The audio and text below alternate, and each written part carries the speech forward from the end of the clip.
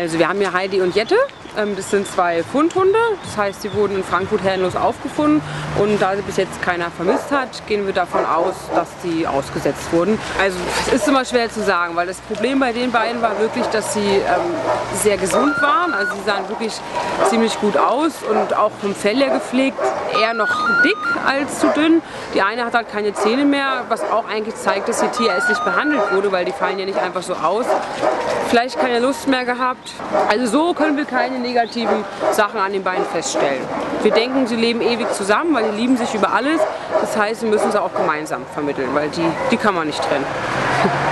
Wir haben sie auf circa zehn Jahre geschätzt. Die kleinere von beiden, die Jette, die hat gar keine Zähne mehr. Das ist eigentlich das Einzige, was zu beachten ist. Ansonsten sind sie gesundheitlich sehr fit. Ähm, ja, sehr verschmust, ähm, für die kleine Rasse typisch anhänglich und wirklich ein bisschen Schoßhündchen, wobei sie sehr, sehr gerne Gassi gehen. Also die laufen wirklich, ich sage immer, wie kleine Nähmaschinchen.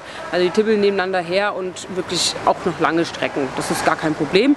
Ähm, Kinder dürften bestimmt vorhanden sein, weil sie schon sehr freundlich sind, wobei natürlich es nicht zu ähm, agil sein sollte im Haushalt, weil es schon ältere Hunde sind. Weil ein bisschen Ruhe brauchen ja so alte Omas auch.